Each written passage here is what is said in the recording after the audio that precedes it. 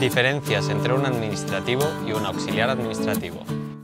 Tanto los administrativos como los auxiliares realizan tareas de gestión administrativa en empresas de cualquier sector. Sin embargo, existen diferencias entre ambos profesionales. Las principales diferencias tienen que ver con la formación previa, las funciones que desempeñan, el salario que perciben o el acceso a posiciones.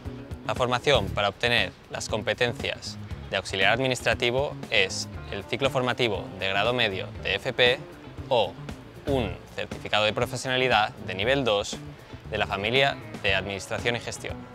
A los administrativos, en cambio, se les exige como mínimo una titulación de técnico superior de FP o el certificado de profesionalidad de nivel 3 de la misma familia. En lo que respecta a funciones, los auxiliares administrativos realizan tareas de apoyo, como la recopilación e introducción de datos, la atención telefónica, los registros contables o tareas básicas de logística.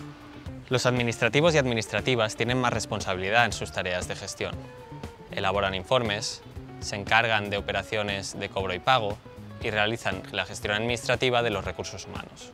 El salario también varía, ya que los administrativos perciben un sueldo mayor que los auxiliares, acorde con las mayores responsabilidades de su puesto.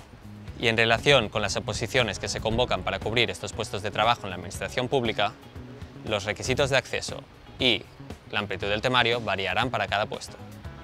Son profesionales que, pese a tener formación diferente y desempeñar tareas diferenciadas, suelen trabajar en colaboración, complementándose en diferentes aspectos y compartiendo espacios similares en una empresa.